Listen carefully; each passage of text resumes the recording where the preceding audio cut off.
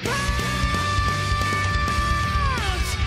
Hola, soy Bash y hola amigos, bienvenidos una vez más a nuestro canal. Y bueno, el día de hoy, como podrán ver en el título del video, hablaremos de un tema muy interesante. Y así es, en esta ocasión mencionaremos la posibilidad de que Blast se convierta en un villano o un antagonista del manga de One Punch Man. Y estaremos analizando esta posibilidad a lo largo del video, yo les daré todas las razones por las que creo que esto es posible y también me encantaría que me dejen su opinión en los comentarios. Pero bueno, ahora sí, sin nada más por añadir, comencemos de una vez. Y bueno, primero que nada quiero plantear la idea que estoy proponiendo, ya que específicamente yo creo que Blast podría estar construido como un némesis directo de Saitama. Pero a qué me refiero con esto exactamente? Como sabemos en el mundo de los superhéroes normalmente existe un villano construido para ser el némesis perfecto de su rival o el héroe contraponiéndose a todos los ideales del mismo, además de también rivalizar incluso en diseño. Algunos ejemplos de este tipo de rivales son Batman y Joker, Spider-Man y Venom, Superman y Lex Luthor y por último el más claro de todos Flash y Flash Reverso.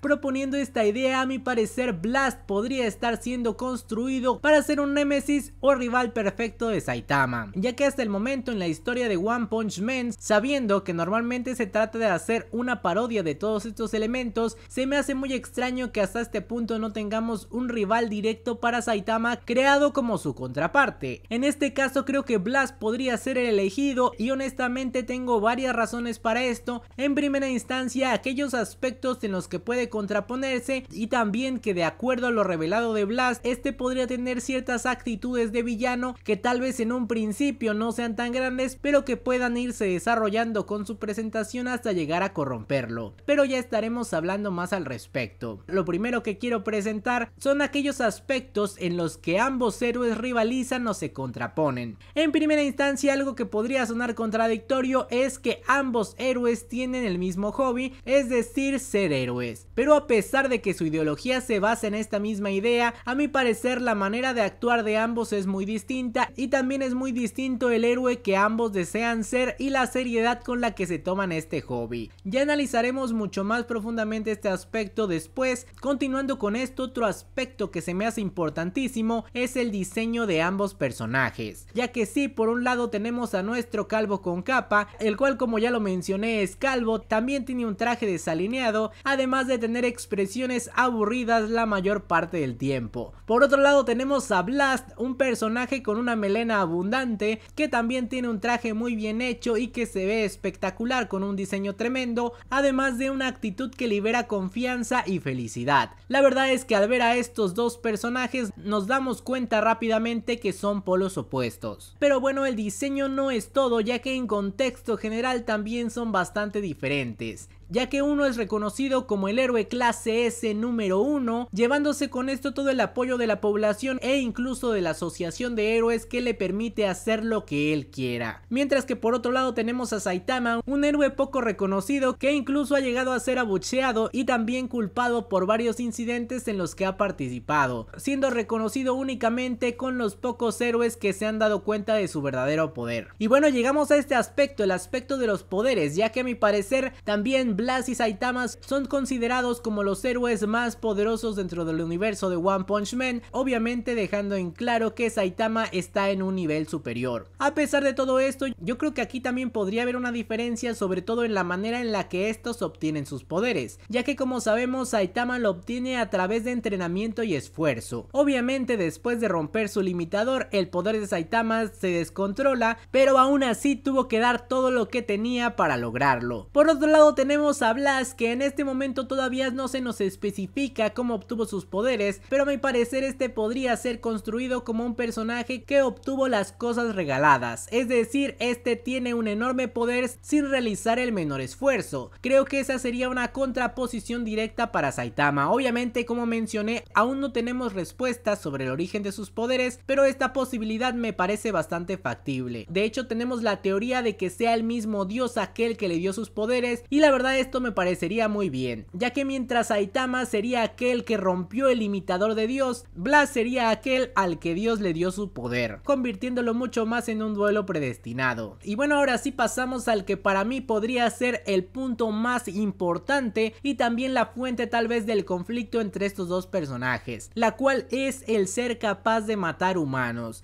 Sabemos que a pesar de las actitudes de Saitama, este tiene reglas morales muy fuertes, las cuales no le permiten asesinar a un ser humano. Recalcando esto en el momento en que se niega a asesinar a Garou a pesar de todo lo que había hecho. Él obviamente no tiene problemas en acabar con monstruos, pero cuando se trata de humanos prefiere abstenerse. Por otro lado, Blas ha demostrado tener una brutalidad sin precedentes, sobre todo en los eventos de la aldea ninja, pero ya lo comentaremos más adelante. Como dije, esta ser una razón muy buena para un conflicto entre ambos héroes. Pero bueno, ya dejando en claro los aspectos en los que Saitama y Blast llegan a diferenciarse, ahora hablaremos de las razones por las que Blast, el héroe número uno, podría corromperse o llegar a convertirse en villano o antagonista, ya que a pesar de que este se ha presentado como el más grande héroe de la historia de la humanidad, creo que hay varios aspectos que nos podrían llevar a creer que este no es tan bueno del todo. En primera instancia hay que reconocer que no se sabe mucho al respecto de Blast, pero varias de las cosas que realmente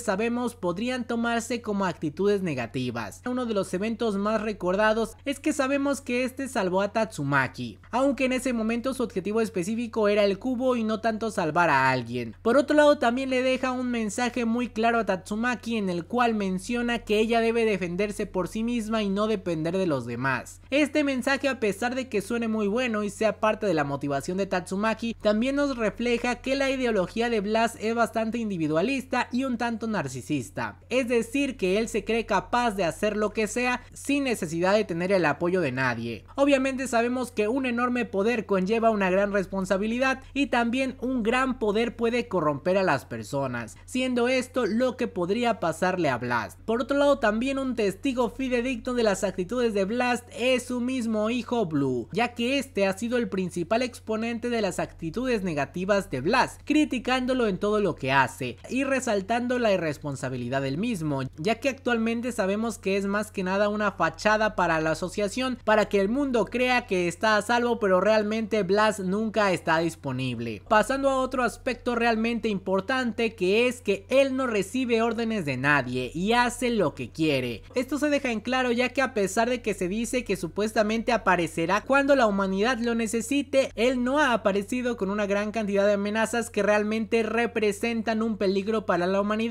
como es el caso en un principio de Boros y también la aparición de la Asociación de Monstruos y el mismísimo Garou. En este arco en el manga sí lo vemos aparecer, pero realmente creo que no va a intervenir para ayudar a sus compañeros héroes. Por otro lado, a pesar de que él menciona que está reuniendo los cubos para evitar que Dios escape, posiblemente también puede hacer que los está reuniendo para liberarlo. Todavía hay demasiados misterios ocultos acerca de Blast, ya que realmente si la teoría de que Blast recibió los poderes de Dios es verdad, esto reforzaría un elemento que muchos de ustedes me comentaban, y es que Dios solo da su poder a seres malignos. Y esta sería la razón por la que Dios le dio su poder a Blas. Tal vez Blas en un principio sí era un verdadero héroe con ideales bien forjados, pero Dios detectó la oscuridad que había dentro de él y sabía que dándole su poder podría corromperlo poco a poco. Ya que uno de los eventos donde más se deja en claro todo esto es en el ataque a la aldea ninja, dejando en coma al líder de la misma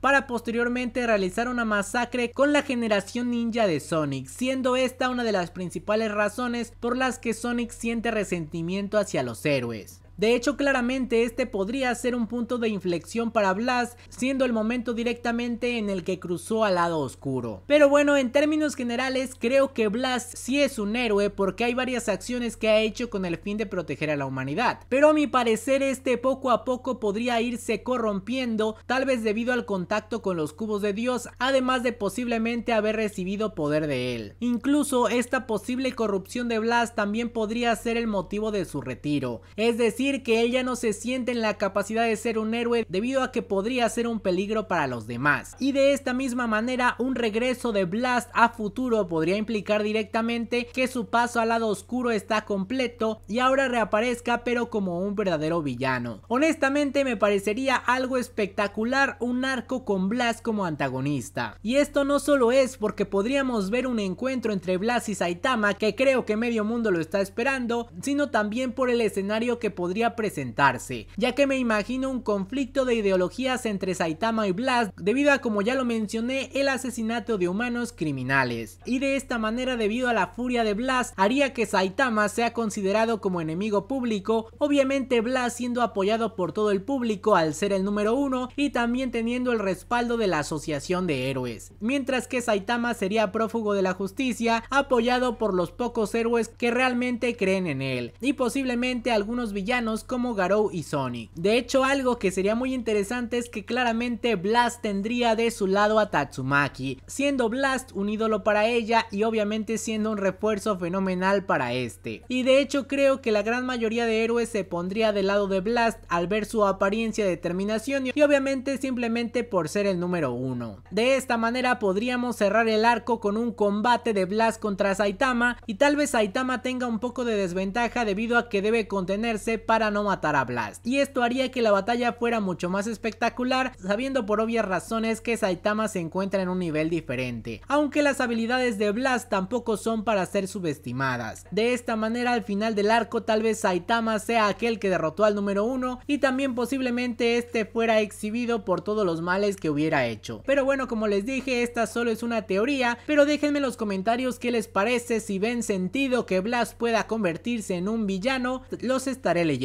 Y de esta manera hemos terminado el video espero les haya gustado mucho no olviden dejar su like y suscribirse si no lo están y antes de despedirme quiero agradecer a todos los miembros del canal que siempre nos están apoyando. Y muchas gracias a Freaks, Oscar, Paulex29, Taresitor, Brian Díaz, Alex Gamer, Yami Ramírez, Emanuel Castro, Adrián Risco Vilches, Rux B, Edifonso Loredo, Kevin Rangel, Fanny Morales, Roberto Pedrero, Víctor Tadeo, J. Daniel Alvarado, César Soules, Rade Cero Hades, Almora y Bárbara Ninao. Y ahora sí, sin nada más por añadir, adiós.